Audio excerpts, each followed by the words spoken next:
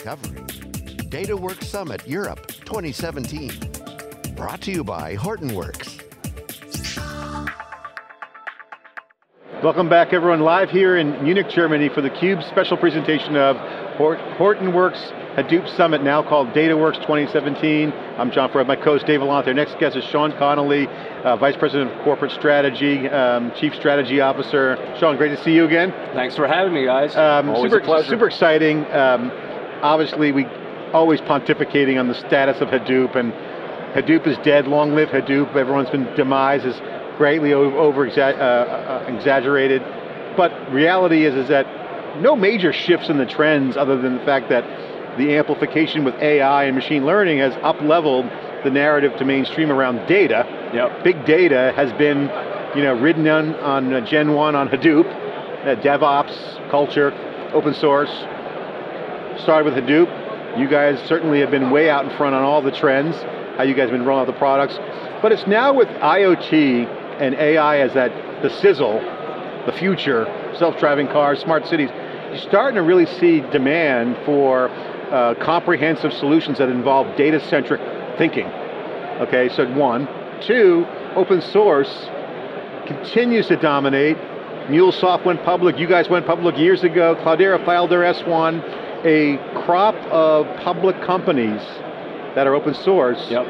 Haven't seen that since Red Hat. Exactly, 99 is when Red Hat went public. Data center, yep. centric, big mega trend with open source powering it, you couldn't be happier for the stars lining up. Yeah, well we we definitely placed our bets on that. We went public in you know 2014, um, and it's nice to see that graduating class of you know Talend, MuleSoft, you know uh, Cloudera coming out. Um, that just I think helps socialize this movement that enterprise open source, whether it's for on-prem or powering cloud solutions, um, pushed out to the edge, right, in technologies that are relevant in IoT, um, that's the wave. I mean, yeah. we had a panel earlier today where uh, Daljit from Centrica British Gas was talking about his, uh, you know, the, you know, the digitization of energy, right, and virtual power plant notions. He can't achieve that without open source yeah. powering and fueling that. And, and right? the thing about it is just kind of, for me personally, being at you know my age in this generation of computer industry from since I was 19, to see the open source go mainstream the way it is, is even gets better every time, but it really is the thousand flower bloom strategy, throwing the seeds out there of innovation. I want to ask you as a strategy question, you guys, uh, from a performance standpoint, you know, I would say kind of got hammered in the public market. Cloudera's valuation privately is 4.1 billion. You guys are close to 700 million. Certainly Cloudera's going to get a haircut, looks like, in the public markets based on the multiples from Dave and I's intro but there's so much value being created. Where's the value for you guys as you look at the horizon? You're talking about the white spaces that are really developing with use cases that are creating value. The practitioners in the field, yep. creating value, real value for customers. Yeah, so you, you covered some of the trends, but I'll translate them into how the customers are deploying. So um, cloud computing and IoT are somewhat related, right? One is the centralization, the other is decentralization, so it actually calls for a, a connected data architecture as we refer to it. Um, we, are working with a variety of IoT related use cases. Um, you know, Coca-Cola uh, East Japan was spoke at Tokyo Summit about uh, beverage replenishment analytics, getting uh, vending machine analytics from vending machines even on Mount Fuji right? And optimizing their uh, flow through of inventory and just-in-time delivery. That's an IoT related, they run on Azure, it's a cloud related story, and it's a big data analytics story that's actually driving better margins for the business and actually better revenues because they're getting the inventory where it needs to be so people can buy it. They, th that, those are really interesting use cases that we're seeing being deployed, and it's at this you know, convergence of IoT cloud, right, uh, and big data, um, ultimately that leads to AI, but I think uh, that's what we're seeing the rise can, of. Can you help us understand that sort of value chain? You got the edge, you got the cloud, you need something in between, you're calling a connected data platform. Yep. How do you guys participate in that value chain? Yeah, so um, when we went public, our primary workhorse platform was Hortonworks Data Platform, right? Um, we have first-class cloud services with Azure HD Insight and Hortonworks Data Cloud for AWS, curated cloud services pay-as-you-go, and Hortonworks Data Flow I call is our connective tissue. It's the, it manages all of your data in motion. It's like, it's a data logistics platform. It's like FedEx for data delivery. Um, it goes all the way out to the edge. There's a little comp component called MiNiFi, Mini NiFi, which does secure, intelligent analytics at the edge and transmission. And so these smart manufacturing lines, you're, you're gathering the data, you're doing analytics on the manufacturing lines, and you're bringing the historical stuff into the data center where you can do historical analytics cross manufacturing lines. Those are the use cases that a connected data architecture A subset enables. of that data comes back, right? A subset I mean, of the data, yep. Like- um, the, the, the key events uh, of that data, it's not, it may not be full uh, 10%, half, 90%? It depends. If you have operational uh, events that you want to store, sometimes you may want to bring full fidelity of that data so you can do um, as if you manufactured stuff and when it got deployed and you're seeing issues in the field, uh, like Western Digital hard drives, Yeah. failures in the field, um, they want that data, to, full fidelity of the Phone data home to, kind of to do, um, you know, connected data architecture and analytics around that data, right? So you need to, one of the terms I use is, in the new world, you need to play it where it lies. If it's out at the edge, you need to play it there. If, it's, uh, if it makes a stop in the cloud, you need to play it there. If it comes into the data center, you also need to play it there. So a couple years ago, you and I were doing a panel at our Big Data NYC event, and I used the term profitless prosperity. I got, I got like the hairy eyeball from you, I think. But, but nonetheless, we talked about you guys as a steward of the industry, you have to invest in open source projects, and it's expensive. I mean, HDFS itself, Yarn, Tez, you guys led a lot of those initiatives. With the community, yeah, but we With the community, yeah, but you, lead, you lead provide you provided contributions and at least co-leadership, let's say. I Yep. mean, you're there in the front of the pack. Um, so, how do we projecting forward? You know, without making forward-looking statements, but how does this industry become a cash flow positive industry? Yep. So, public company since end of 2014. The, market's turned beginning of 2016 towards, uh, prior to that, high growth with some losses was palatable. Losses were not palatable. That hit us, Splunk, Tableau, most of the IT sector. That's just the nature of the public markets. Um, as more public open source, data-driven companies will come in, I think it'll better educate the market of the value, right? So there's only so much I can do to control the stock price. What I can from a business perspective is hit key measures from a path to profitability, right? So at the end of Q4 2016, we hit what we call the just the EBITDA break even, which is a, a stepping stone on our earnings call at the end of 2016, we ended with 185 million in revenue for the year. Only five years into this journey, so that's a torrid revenue growth pace. And we basically stated in Q3 or Q4 of 17, we will hit operating cash flow neutrality, right? So we were operating you guys also hit 100 million at record pace too, I believe. yeah, in the uh, in Uh, four years, you right? know- so so revenue is one thing, but um, operating margins, like if you look at our margins on our subscription business, for instance, we've got 84% margin on that. It's a really nice margin business, right? And we we can make that better margins, but that's a software margin, right? Yeah, you know what's ironic? We were talking about Red Hat uh, off camera. You know, his Red Hat kicking butt, you know, really hitting all, all cylinders, $3 billion in bookings. One would think, okay, hey, I could maybe project forth some of these open source companies. Maybe the flip side of this, oh wow, we want it now. To your point, the market kind of flipped. But you would think Red Hat is an indicator of how an open source model can work. But it was Red Hat went public in '99, right? So Yeah, it time. You know, it was Right. um, a different trajectory. Like, you know, I've charted their trajectory out. Oracle's trajectory was different. They didn't, even in inflation-adjusted dollars, they didn't hit 100 million uh, in four years. Oh, yeah. I think it was like seven or eight years or what have you. Salesforce did it in five, right? So these SaaS models and these subscription models and the cloud services, which is an area that's near and dear to my heart. Goes faster. Right? Is um, you get multiple revenue streams across different products. We're a multi-product Yeah. cloud service company, right? Not just a single platform. So we were actually teasing this out on And our that- that's how you grow the business, So- and that's how Red Hat did it. Well, I want to get your thoughts on this while we're just kind of riffing live here, because Dave and I were talking on our intro segment about the business model and how there's some camouflage out there, at least from my standpoint. And one of the um, areas that I was kind of pointing at and trying to poke at and want to get your reaction to is, in the classic enterprise go to market. You have Salesforce expensive, you guys pay handsomely for that today, incubating that market, getting the profitability for, is a good thing. But there's also channels, VARs, ISVs, and so on. Yep. You guys have an open source channel that kind of not is a VAR or an ISV. These are entrepreneurs and or businesses themselves, right? So there's got to be a monetization shift there for you guys in the subscription business, certainly. We look at these partners, they're co-developing, they're in open source. Yep. So you, you almost can almost see the dots connecting. Yeah, it's well- this new ecosystem. I mean, there's always been an ecosystem, but now you have kind of a monetization inherently in a pure open distribution model. It forces you to collaborate, Yes. right? Um, and you know, uh, IBM was on stage talking about our system certified on the power system, right? Um, many may, may look at IBM as competitive, we view them as a partner. Amazon, right? Some may view them as a uh, competitor with us, they've been a great partner in our Hortonworks Data Cloud for AWS.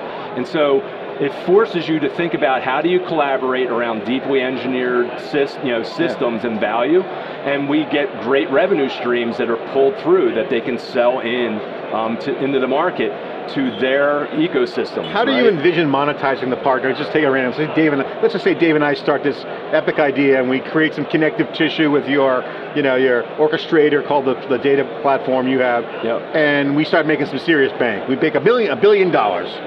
Do you get paid on that if it's open source? I mean, we, we need more subscriptions. So I'm trying to see how the tide comes in, whose boats float on the rising tide of the innovation in these Yep. white spaces. Platform thinking is you provide the platform, you provide the platform for 10x value that rides atop that platform. That's how the model works. So if you're riding atop the platform, I, ex I expect you in that ecosystem to drive at least 10x above and beyond what I would make as a platform provider in that space. So you expect some That's how it works, right? You need a thousand flowers to be running on the platform. Well, and you know, you saw right? that in with VMware, right? It, Yep. It hit 10x. It, it ultimately got to 15 or 16, 17x. Exactly. I think it, they don't talk about it anymore. I think it's You know, maybe my trending days the at other way. JBoss Red Hat, it Yeah. was somewhere between 15 to 20x, Yeah. right, was the value that was created on top of the platform. What about the, I want to ask you about the forking of the Hadoop distros. I mean, there was a time when everybody was announcing Hadoop distros. John Furrier announced SiliconANGLE was announcing a Hadoop distro. So we saw consolidation, and then you guys announced the ODP, then ODPI initiative. But there seems to be a bit of a forking in, in Hadoop distros. Is that a, a fair statement? Um, unfair? Uh, you know, I think if you look at how the Linux market played out, right, you have clearly Red Hat, you had Canonical Ubuntu, you had, you know, uh, SUSE. You're always going to have curated platforms for different purposes, right? Um, we have a strong opinion um, and a strong focus in the area of IoT, um, fast analytic data from the edge, and a centralized platform with HDP in the cloud and on-prem. Um, you know, others in the market, Cloudera is running sort of a different play where they're curating different you know, elements and investing in different elements. Neither doesn't make either one bad or good. We just are going after the markets slightly differently. The other point that I'll make there is in 2014, if you looked at the Venn chart diagrams, there was a lot of overlap. Now if you draw the areas of focus, there's uh, you know there's a lot of white space that we're going after that they aren't going after, and they're going after other places, and other Hadoop vendors are going after others. So it's you know with the market dynamics of IoT, cloud, and AI, you're going to see folks chase that different Is, market is that disparity not a problem for customers though, or is it, Um, or is it challenging? there has to be a core level of interoperability, and that's one of the reasons why we're collaborating with folks in the ODPI, as an example, is there's still, when it comes to some of the core components, there has to be a level of predictability, because if you're an ISV riding atop that, eh, you're slowed down by you know, death by infinite certification and choices, Yeah, right? yeah. Um, so ultimately, it has to come down to, you know, just uh, you know, a much more sane approach you- on when- what you can rely on. When you guys announced ODP, then ODPI, you know, the extension, uh, Yeah. Mike Olson wrote a blog saying it's not necessary, people came out against it, now we're, I don't know, three years in? Three years in, looking back? Was he right or not? So I think uh, ODPI, particularly this year, there's more that we can do um, above and beyond the Hadoop platform. Um, it's expanded to include SQL and other things recently, so there's been some movement in this spec. But frankly, you know, I think you talk to John Mertic at ODPI, right? You talk to Yep. um, you know SAS and others. I think we want to be a bit more uh, aggressive in the areas that we uh, you know go after and and try and drive there from a standardization perspective. We had Way weighing on earlier on. There's um, more we can do, and there's more we we, had should Way do. on with Microsoft at our Big Data SV event a couple weeks ago. Talk about the Microsoft relationship with you guys. It seems to be doing very well. Um, comments on that? Yeah, so um, Microsoft was one of the two companies we chose to partner with early on, right? So, you know, end of 2011, 2012, Microsoft and Teradata were the two, Yeah. right? Um, Microsoft was how do I democratize and make this technology easy for people? That's manifests itself as Azure Cloud Service, Azure HD Insight Which has been growing like crazy. which is globally deployed, and we just had another update. It's fundamentally changed our engineering and delivery model. So this latest release was a cloud-first delivery model.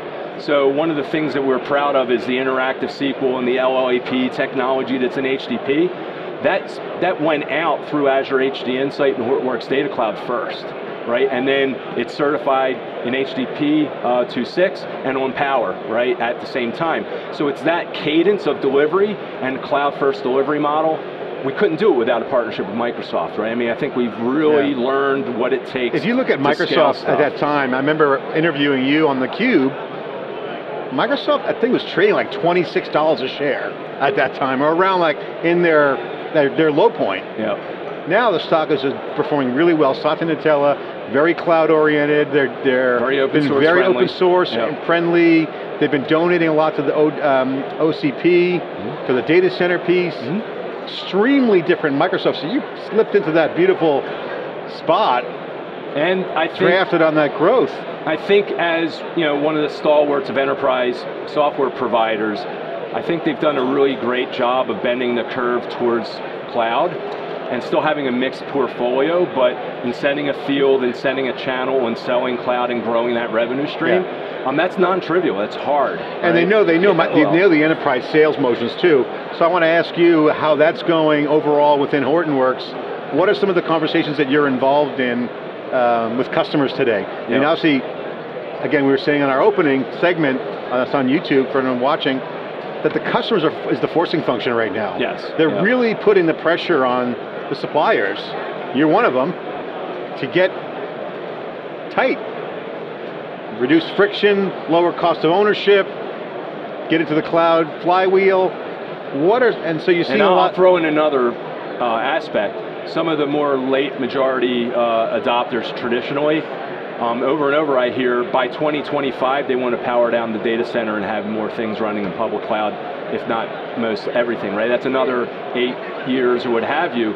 Um, so it's still a journey, Yeah. but this journey to making that an imperative because of the operational, because of the agility, because of the uh, you know better predictability, the ease, ease of use. So as you that's get in- fundamental. So as you get into the connected tissue, I love that example. Yeah. With Kubernetes containers, you got developers, a big open source participant, and you got all the stuff that you have. You're going to start to see some coalescing around the cloud native.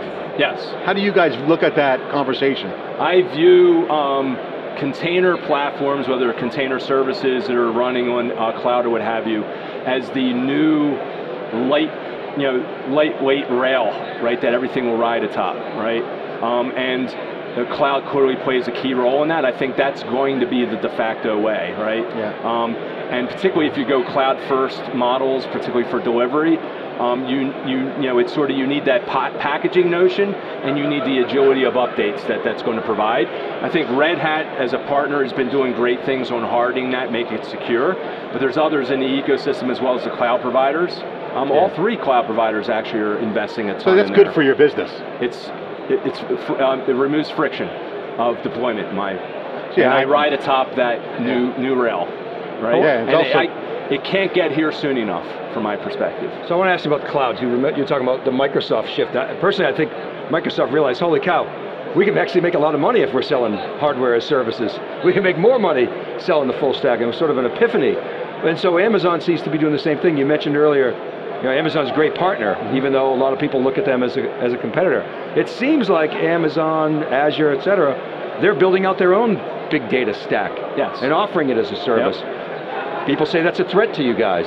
Is it a threat or is it a tailwind? Is it, hey, we, it is what it is? So this is why I bring up industry-wise, industry-wide, we always have waves of centralization, decentralization, right? And they're playing out simultaneously right now with cloud and, And IoT, IoT, yeah. right? And the fact of the matter is, is you're going to have multiple clouds, on-prem data and data at the edge. That's the problem I'm looking to facilitate and solve, right? And so, so I don't view them as competitors, I view them as partners because we need to collaborate because there's a value chain of the flow of data. And it's going to be, some of it's going to be running through and on those platforms. Yeah, the cloud's not going to solve the edge problem. No. Too expensive. Exactly, just- right? Physics. And, and so, you know, I think that's where things need to go, right? And I think that's why we talk about this notion of connected data. I don't talk hybrid cloud computing, right? That's for compute. I talk about how do you connect to your data, how do you know where your data is, and are you getting the right value out of the data where, by playing it where it lies. I think right? IoT has been a great, sweet trend for the big data industry because it really accelerates the value proposition for the cloud too because now you have a connected network, you can have your cake and eat it too. Well, and- Central and distributed. And it, there, there- there's different dynamics in the U.S. versus Europe, as an example, Yeah. right? So U.S. definitely we're seeing, you know, uh, cl- uh, cloud adoption, you know, that's independent of IoT. Here in Europe, I would argue the smart mobility initiatives, the smart manufacturing initiatives, and the connected grid initiatives are bringing cloud in. So it's IoT and cloud, and that's opening up the cloud opportunity here. All right. Shaun, prospects for Hortonworks cash flow positive Q4. You guys have made a public statement. Any other thoughts you want to share? just uh, continue to uh, you know grow the business, focus on these customer use cases, get them to talk about them at things like DataWorks Summit, and then um, the more the merrier, the Yeah. more data-oriented, open source-driven companies that Yeah. can graduate in the public markets, I think is awesome. I think Yeah. it'll just help the industry Operating Right. in the open with full transparency is on what the business and the code. and the code. Welcome to the party, baby. Okay, this is theCUBE here at DataWorks uh, 2017 in Munich, Germany. Live coverage, I'm John Furrier with Dave Vellante. Stay with us, more great coverage coming at you after this short break.